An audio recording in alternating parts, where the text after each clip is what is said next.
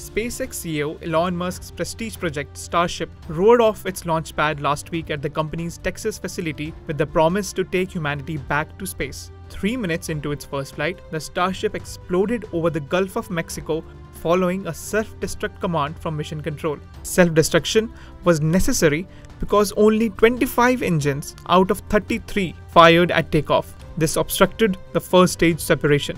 While the inaugural mission didn't go as planned, the liftoff and its successful failure was a newsmaker around the world for obvious reasons. Starship is the most powerful rocket ever developed and is designed to be fully reusable. The spacecraft and its super heavy rocket, collectively referred to as Starship, is being designed to carry both crew and cargo to Earth orbit, the Moon, and deep space.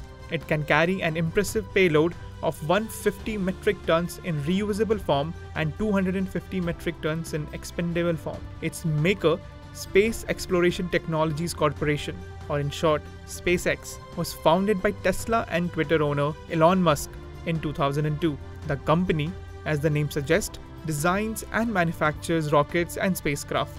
In multiple forums, Musk had said he aspires to reach Mars and colonize the Red Planet. SpaceX in an almost fairy tale yet realistic manner is a step in that direction. Starship is one of the three spacecrafts built by SpaceX. The other launch vehicles are Falcon 9 and Falcon Heavy. While Falcon 9 is a two stage reusable rocket for reaching Earth orbit, Falcon Heavy is made up of three Falcon 9 rocket engines. It is designed to deliver heavier payloads than Falcon 9. Remember Elon Musk's Tesla Roadster in space? A Falcon Heavy rocket carried it to outer space in 2018.